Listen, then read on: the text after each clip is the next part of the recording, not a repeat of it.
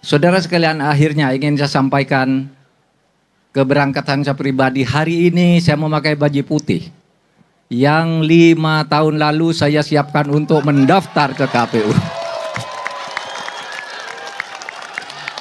Ini ini dulu tidak jadi dipakai meskipun sudah jadi.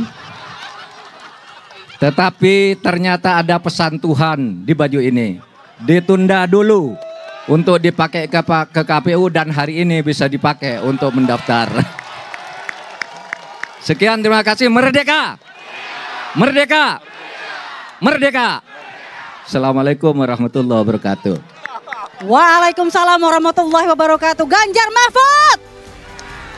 Ganjar PDIP yang lain, kemudian ada Mas uh, Bene Ramdhani dari Partai Hanura, Pak Usman Tokan dan kawan-kawan sama Ahmad Baidowi uh, dari Partai Persatuan Pembangunan dan Mbak Angela dari Perindo, kemudian para tokoh-tokoh masyarakat, seniman, uh, bahwa hari ini kita berangkat dari Tugu Proklamasi yaitu satu tempat ketika Bung Karno dan Bung Hatta atas nama bangsa Indonesia menyatakan proklamasi kemerdekaan Indonesia.